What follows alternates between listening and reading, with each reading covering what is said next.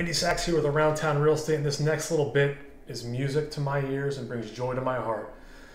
The iBuyer platforms, there's a lot of them out there, aren't doing too well. In fact, one of them, Opendoor, reported a billion dollar loss. These are platforms that were supposed to revolutionize the business. And don't get me wrong, I think real estate is changing, just maybe not the disruptive rate a lot of these companies have thought it might.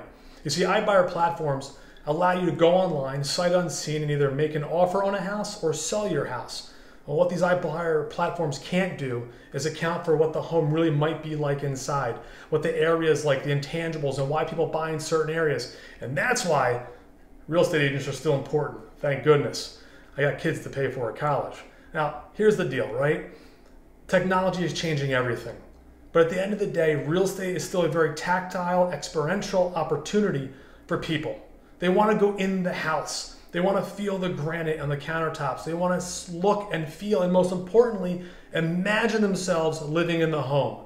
You see, buying residential real estate has two key factors. One, does it make financial sense? Two, does it make emotional sense? Can you see yourself living there?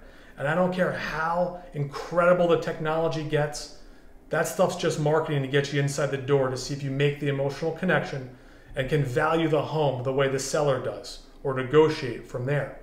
My name is Andy Sachs, Around Town Real Estate. We look forward to working with you soon.